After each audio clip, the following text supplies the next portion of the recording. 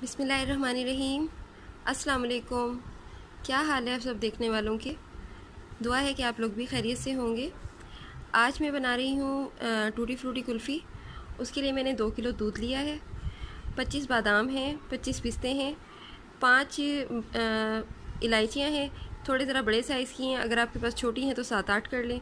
इन तीनों को मैंने पाउडर बना लिया चार मेरे पास ब्रेड के स्लाइस हैं। एक छोटी प्याली मेरे पास चीनी की है।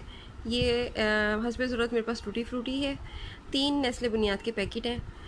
अब इस दूध को मैं पकने के लिए रखूँगी और इसको हम इतना पकाएँगे कि ये डेढ़ किलो रह जाए, यानी कि इसमें से आधा किलो दूध कम हो जाए। तो इसके अंदर हम ये ड्राई फ्रूट डालेंगे। और मैं इसे पकने के लिए रखती हूँ। ये जैसे ही डेढ़ किलो होता है, फिर मैं आपसे मिलती हूँ। आधे घंटे से ज़्यादा हो गया ये दो किलो दूध का अब ये डेढ़ किलो बच गया। है अब इस स्टेज पर मैं इसमें चीनी शामिल करूँगी, जो मेरे पास एक प्याली चीनी है। ये हम सारी नहीं डालेंगे।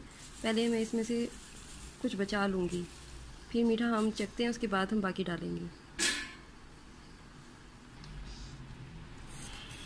इसकी चीनी मेल्ट हो जाए तो फिर हम इसकी चीनी टेस्ट करते हैं।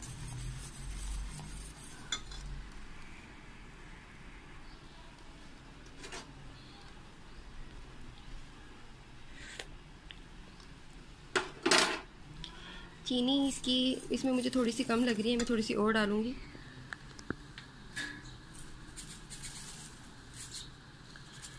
यानी कि तकरीबन आधी प्याले से थोड़ी सी ज़्यादा इसमें चीनी की गई है, और अब ये काफ़ी रहेगी।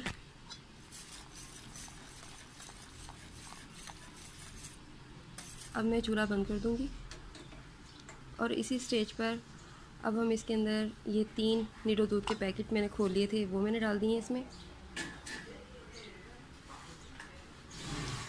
चार ब्रेड की स्लाइस है, वो डाल देंगे।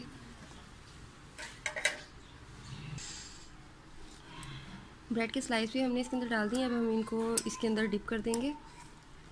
चूल्हा बंद करने के बाद आप इसके अंदर ब्रेड और सूखे दूध का पाउडर डालेंगे और इसको अब ठंडा करने के लिए छोड़ देंगे। ये जब ठंडा होता है तो फिर हम इसको ब्लेंड करेंगे, फिर मैं आपसे मिलती देखें जो कुल्फ़ी हम लोगों ने पकाई थी, वो ठंडी हो गई, उसके बाद मैंने इसे ब्लेंड कर लिया है और ये इस शक्ल में आ गई है मेरे पास।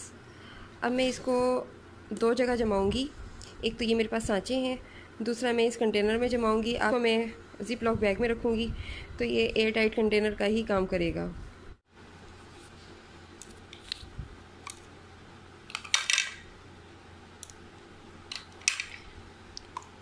सबसे पहले मैं इस कंटेनर में डालूँगी।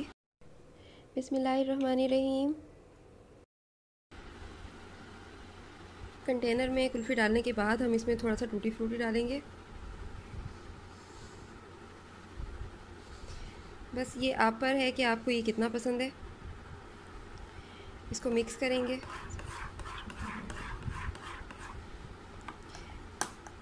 बस अब मैं इसको इस जिप बैग में रखकर इसको मैं जमने के लिए छोड़ दूँगी और कोई दो से ढाई घंटे के बाद मैंने इसको दोबारा निकालना है।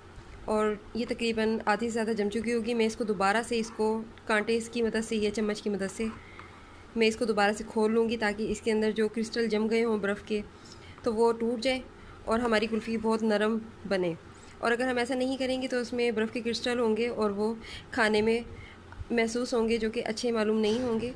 इसलिए मैं अब इसको, मैं इसको सील करती हूँ, फिर आपको दिखाती हूँ। ये देखिए, मैंने इसे जिप लॉक बैग में पैक कर दिया है। आपने भी जब इसको पैक करना है तो इसमें देखें, बिल्कुल भी एयर नहीं है। शॉपर बिल्कुल हमारा अंदर से खाली है। इसमें एयर नहीं होनी चाहिए। अगर इसमें एयर एयर होगी तो हमारी कुल्फ़ी अच्छी नहीं जमेगी। मैंने इन सांचों में भी ये भर लिया है। अब मैं इसके अंदर टूटी फ्रूटी डालूँगी थोड़े थोड़े से।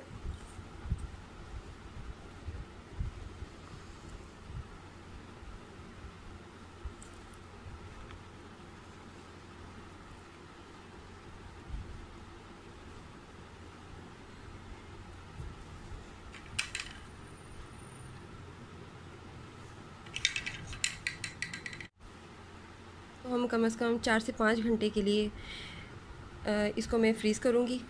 ये जब तैयार हो जाएँगी, फिर मैं आपको दिखाती हूँ। अल्हम्दुलिल्लाह। ये देखें, कुल्फ़ी हमारी बनकर तैयार है। मैंने छः घंटे के बाद इनको निकाला है। ये माशाल्लाह से बहुत अच्छी जम गई हैं। इसके बारे में मैंने आपसे कहा था कि जब आप किसी कंटेनर में उनको जमाते हैं तो दो घंटे के बाद आपने उसको दोबारा से निकाल कर उसे किसी चम्मच या कांटे की मदद से आपने उसको दोबारा से खोल देना है। ताकि उसमें जो बर्फ़ के क्रिस्टल हों वो ख़त्म हो जाए, वरना फिर आपकी जो कुल्फ़ी है वो बहुत ज़्यादा सख्त बनेगी। ऐसा आप दो बार भी कर सकते हैं। वैसे तो एक बार ही काफ़ी रहता है। ये मैंने मोल्ड से जो है इनको अलग कर लिया है। ये देखें कितनी ये सॉफ्ट है, ये अभी से मेल्ट होना शुरू हो गई है। ये बहुत मज़े की बनी है। और ये जो हमने कंटेनर में जमाई थी, मैं आपको कट करके दिखाती हूँ देखें कितनी सॉफ्ट है। ये देखें, ये कितनी सॉफ्ट है और आसानी के साथ हम इसके स्लाइस हम इसके अलग कर पा रहे हैं। अगर ये हार्ड जमती तो ये ऐसी ना होती। ये देखें। ये बहुत मज़ेदार बनी है। आप भी बनाएँ और मुझे बताएँ कि आपको कैसी लगी। दुआ में याद रखिएगा। अल्लाह हाफिज़।